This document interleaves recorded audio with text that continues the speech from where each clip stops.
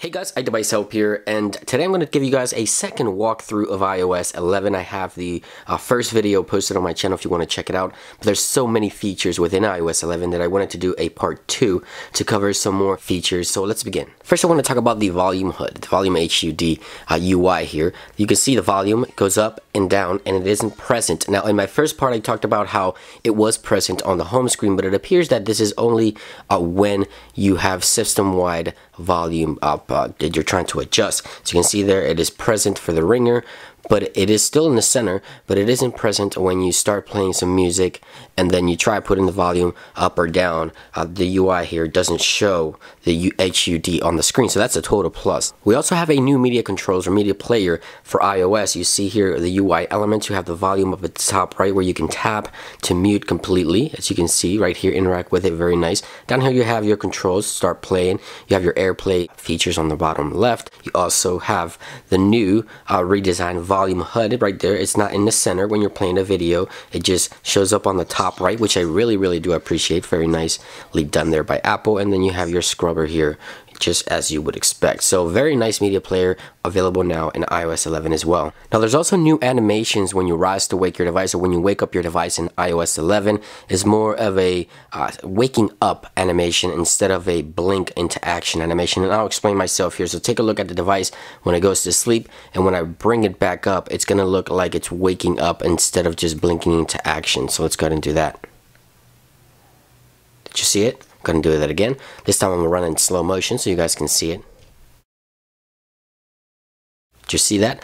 Pretty cool stuff. So new animations and when you swipe up you get all your notifications within iOS. Really different UI I. Like it a lot by the way. Uh, you can also of course swipe to the left for the widgets and then swipe for the right for the camera as usual. Now when you swipe from the top you take you get taken back to the lock screen elements here and to your uh, earlier notifications as you can see there. I kind of like that idea uh, that you can go ahead and just swipe up for that. Now one thing I failed to notice on my first uh, walkthrough video is that there isn't any labels on the icons for the dock. That's pretty cool idea as well because when you bring them up, boom, labels come back. You can bring any other icon and then the icons labels disappear, uh, but then they come back. Of course, when you bring them back to the home screen, uh, you see that the icon labels, boom, come back. But it is a nice clean look that Apple went with with no labels on the dock right there or the icons for the dock.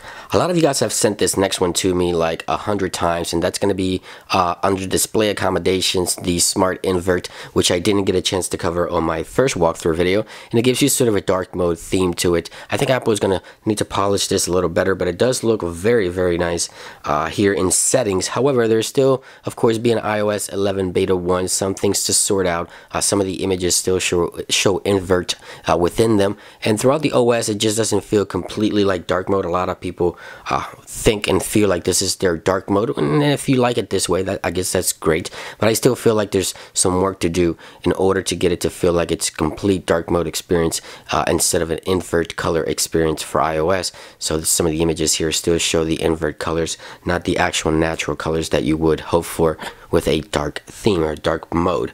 But nonetheless, it is available there under display accommodations for a smarter invert option. I also wanted to talk about a File, the new application from Apple that you get with iOS 11. It's going to help you manage files between your iOS devices, whether it's in the cloud or physical files. Now, this is not like uh, on jailbroken devices, iFile, where you get root access to the device and you can mess around with all the file systems. Uh, no, this is just for files that you have locally on device or on the cloud, not the operating system itself. You have your recent uh, files that you've been working with. You have your search. You also have your browser options there for the, the bottom where you can browse through the cloud on device recently deleted. You have favorites and tags. You also have a universal search. So let's say I'm in the cloud here. I worked on a file or, or something at home and it's in my iCloud. I can tap and hold. It'll show up on my iOS device.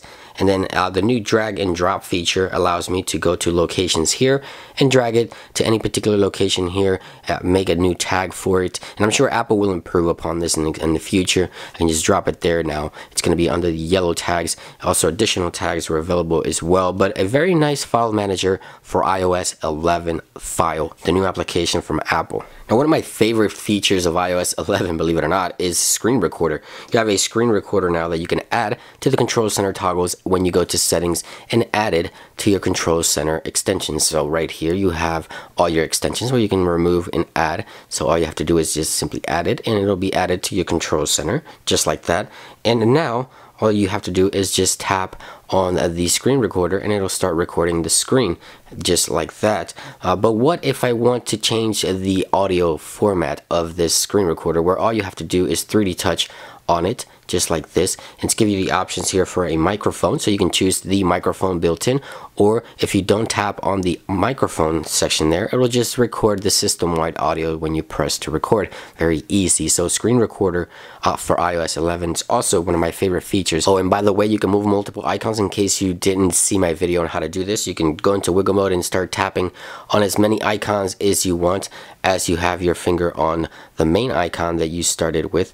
And then you can just move multiple icons all at once throughout iOS if you wish to do so. So that's also a neat option uh, within iOS 11 that wasn't possible before, of course.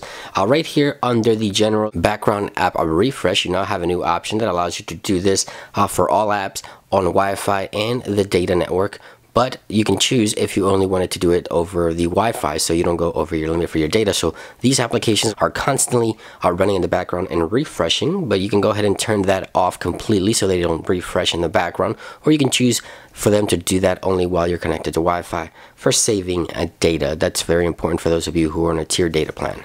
Press and hold for Siri is now a new option under the Siri options and settings. And Siri just got a whole lot nicer. The voice is a lot smoother. Hello, Siri. It's a more natural voice. You also have a button here to tap and edit the uh, text, as you can see there for Siri. And it's just a lot nicer to use Siri now. The voice is just more welcoming. When you take a live photo in iOS 11, you now have a new option, or new options. As you can see here, you can swipe up and see live photo effects, people, and locations. So just swipe up and you can see new effects here and you have all these new effects that you can choose from for your live photo you can see there a nice one let me go back here and show you the other one. I'm still getting used to how to use this.